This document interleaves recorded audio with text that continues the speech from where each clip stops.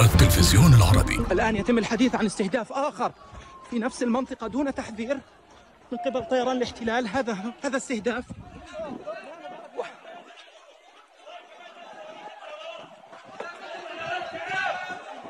هناك إذن استهدافات جديدة. ارجع ورا!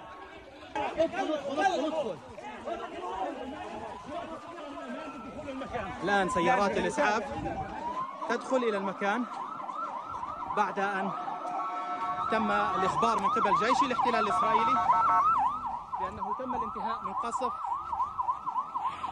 المكان.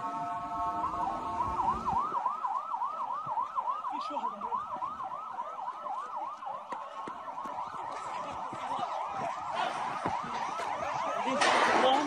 ندخل إلى مركز اللواء. من عدة مدارس. هذه جثامين شهداء موجودة في المكان.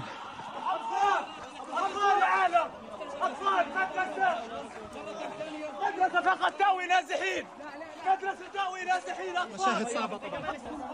وهذا الدمار الهائل الذي أصاب هذه المدرسة تحدث عن مجزرة مركبة قام بها الجيش الإسرائيلي. مزيد من الجثامين. الجثامين في كل مكان. هذه صور صعبة للغاية. اطفال حسبي الله ونعم الوكيل. مزيد من الجثامين.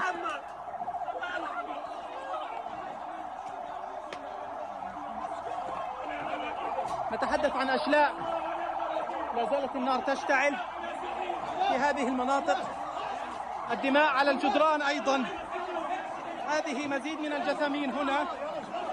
تم تغطيتها بالستائر. حالة من الفوضى الهائلة الموجودة في المكان.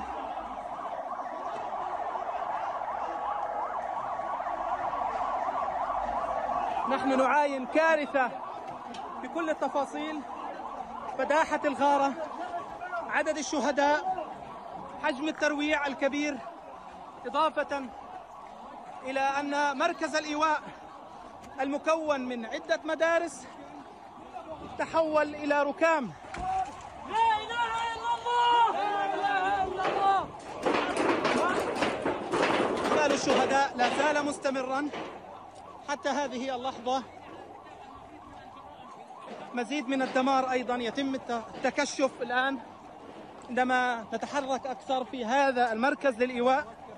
مركز ضخم للإيواء.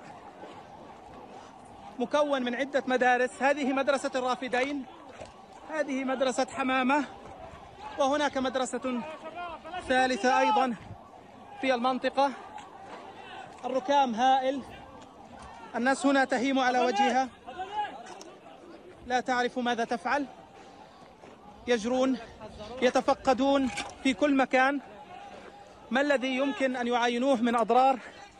وإن كان هناك مزيد من الضحايا في هذه المدرسة. عاينت المدرسة؟ عيناها المدرسة هنا. والله أشلاء المناظر صعبة اللي غاد. أشلاء أشلاء أطفال. حسبنا الله ونعم الوكيل.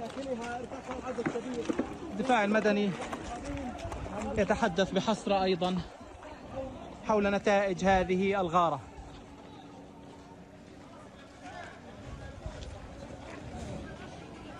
يقوم جيش الاحتلال الإسرائيلي بتنفيذ هذه الغارات بشكل مستمر. هذا هو المشهد هنا داخل هذه المدرسة حالة من الرعب الشديد الذي خلفته هذه الغارة وعدد من الضحايا كبير كذلك داخل مركز الإيواء. هذه إذن مجزرة جديدة ضحايا جدد. والاحتلال مستمر في مثل هذه المجازر. إسلام بدر التلفزيون العربي من مركز الإيواء المدمر في حي الشيخ رضوان شمال مدينة غزة. التلفزيون العربي.